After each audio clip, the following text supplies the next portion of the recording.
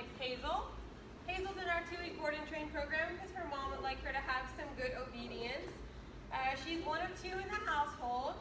Uh, she's got a lot of fearfulness, some anxiety. Uh, when she's not around her brother, she can get really anxious. She's very fearful of everything in the world, so it's very hard to walk her. Uh, she pulls a lot, is easily distracted. Um, she doesn't know a whole lot. They have been working with sitting down, but not anything that is stuck. Let's see if she's going to do anything for us today. 可以说。